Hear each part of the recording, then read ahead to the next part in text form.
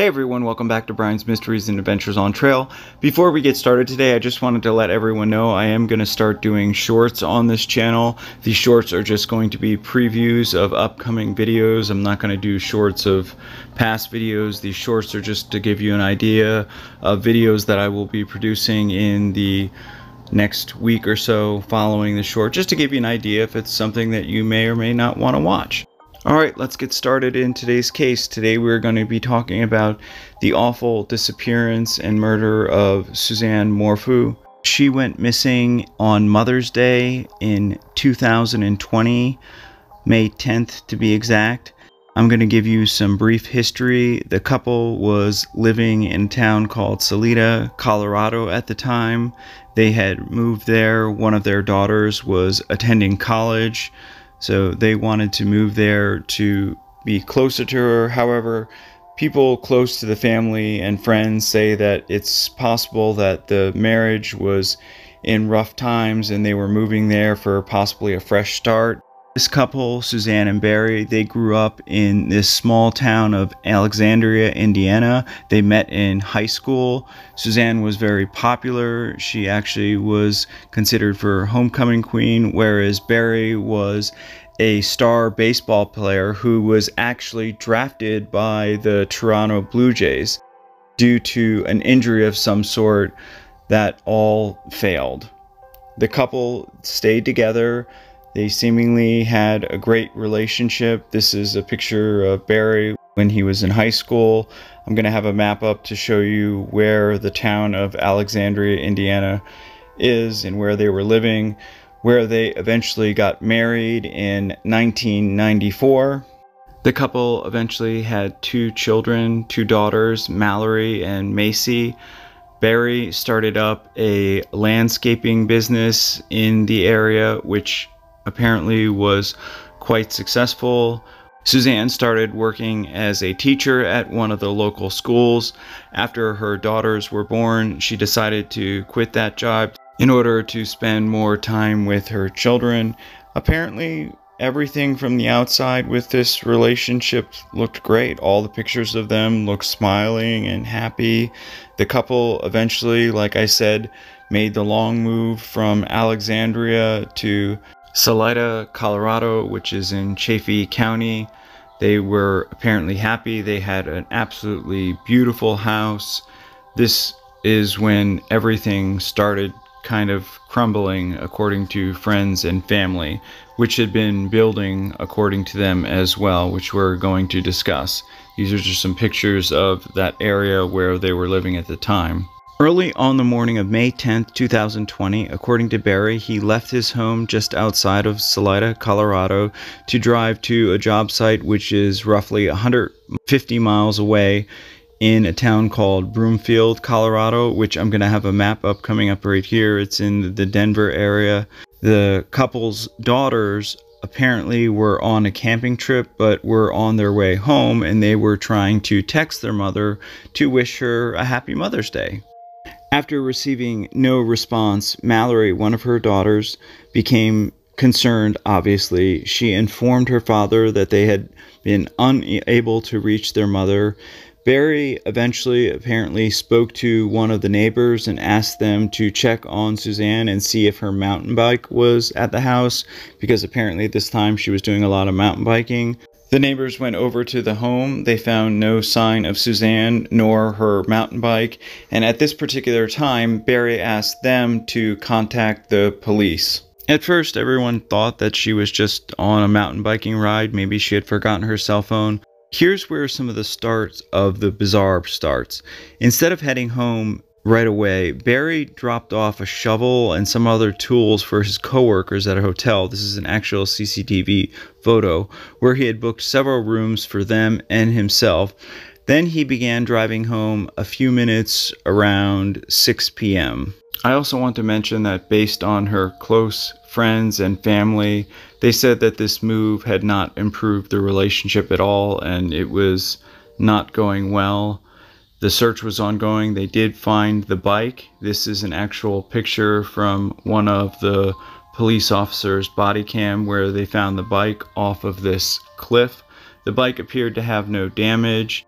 first blush, they thought that this had been staged because there was no blood, there was no evidence of foul play. It just looked like someone had dumped the bike there. Not only was there no sign of a struggle or of an accident, her sunglasses and her water backpack were found inside her car, leading investigators to think that this was obviously staged. What made it even worse was most of her other items, her ID, things like that, were found at home. Suzanne's helmet was then discovered about one mile away off of the side of Highway 50 from where her bike was discovered. And this is a general map of where the distance between where the bike and helmet was found. According to many investigators and many people that have followed this case, it just appeared that someone was driving down the road and threw the helmet out of a car. They then brought in various search teams. This is a picture of one of the dive teams that they brought in to search the various bodies of water that are in and around that area. Of course, missing posters were put up everywhere.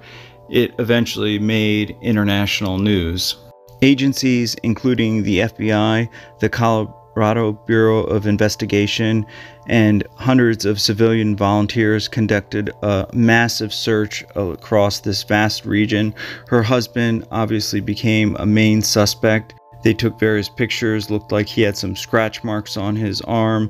They also took pictures inside the house. It looked like part of the entrance to the master room bedroom had damage to it. When he was asked about this, he had no explanation. Further, the people that sold them the house said that that damage was not there when they sold them the house. Then they found the spy pen. We later learned that Suzanne got this pen, which is a voice activated pen, and records conversation. She was hoping to catch her husband, Barry, in an affair. Ironically, instead, she inadvertently recorded conversations she was having with someone that she was having an affair with herself. They kept this affair so secretive that it took authorities almost six months to find out who this person was. It was someone that she knew from a long time ago. They had become friends when they were young. They had reconnected when she moved to Colorado. They were having this affair. He didn't want to come forward because he had a family. He eventually cooperated with all the authorities. He provided his DNA.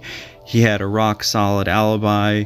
He was nowhere in the area. All the cell phone data and everything else backed that up, so he was ultimately cleared. It is noteworthy that on May 9th, the day before Mother's Day, the records show that Suzanne Morphew and the man she was having the affair with had messaged each other over 59 times, leading up to a moment where they believe Barry Morphew had murdered his wife.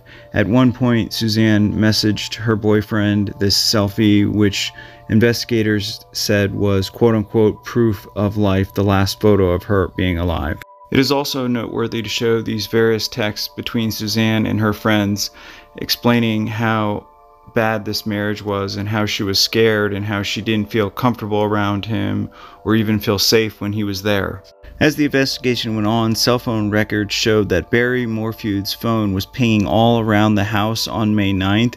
When they asked about this unusual phone activity, which is coordinated here in this picture, Barry told the investigators that he was running around the property, quote, shooting chipmunks, which Barry said were a constant nuisance, which honestly to me just sounds ridiculous.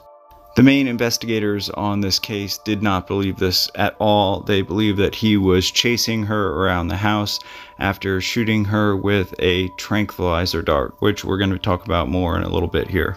Barry told the investigators that he went to bed around 8 p.m. on May 9th. However, due to this new technology and evidence and photos I'm going to talk about, he had actually turned his phone into airplane mode for roughly eight hours. But due to this technology called digital vehicle forensic analysis, they were able to track his truck's whereabouts and it completely contradicted the story that he told. And for those that are curious, this is not pseudoscience. This is acceptable in courts of law. It has been used for years now. They were able to track his vehicle and get many CCTV photographs, including many of him where he stopped at five different dumpster locations to what he said deposit various trash items, which really makes no sense. Why not just drop it off at one place? Why drive all over the place to drop off garbage? They believe that he was taking this time to dispose of evidence. Furthermore, the detectives at some point they found something in his washer dryer this is a picture of that something. It is a plastic cap to a tranquilizer dart.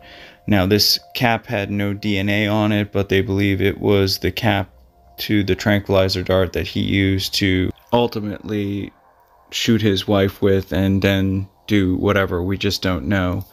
He was eventually charged on September 20th of 2021. He pleaded not guilty to all charges. He also set up an FBI tip line, offered a $100,000 reward. He did eventually make that $200,000. His daughters were steadfastly in support of him. Although they had a mountain of circumstantial evidence and all kinds of other evidence, the prosecution's case began to disintegrate when the forensics teams found unknown male DNA in her vehicle on the passenger side, which was then linked partially to a man that had supposedly attacked and either abducted or hurt other women in the area. Again, I say it was a partial match, but this obviously led to enough reasonable doubt. And after spending over a year in jail, he was eventually set free. In 2023, just recently, the Colorado Bureau of Investigation, while working on another case, they found remains that were found in a shallow grave, obviously meaning that this was a homicide. They were brought back to the El Paso County Coroner's office where they did DNA testing, and it was later confirmed that this was, in fact, the body of Suzanne Morphew. Since the remains of Suzanne have been discovered, no arrests have currently been made. However, the prosecution and lawyers, various investigators, believe that they have more evidence that they will push to make a new case against the husband. I'm just saying everyone is innocent until proven guilty. It could have been this other just random stranger that this partial DNA match that they found in the car was. However, due to all this evidence that we have, that would be just an unbelievable, crazy chance, but it's possible. I want to dedicate this video to Suzanne Morphew, her daughters, her friends, her family, everyone who loved and knew her, and I just pray and wish that you will find out who the responsible person was soon, and I truly believe that you will. My thoughts and prayers go out to you during this horrible time, which I can't imagine anybody going through. My thoughts and prayers go out to the investigators and lawyers, everybody working on this case, so that the people that were involved will be brought to justice and you will get the closure and start that healing process that you so deserve. Thank you all for watching. I appreciate all your support and feedback. I always look forward to your comments. Special thank you to co.ag for providing the background music. Hopefully, I will see you all in the next one. Take care. Hey everyone, thanks for sticking with me till the end. I really appreciate all your support and following. If you'd like to make a donation to the channel, all my information is in the description. I will have my email address as always if you have any case suggestions or comments or if you'd like to make a calendar pick submission for next year's merch calendar.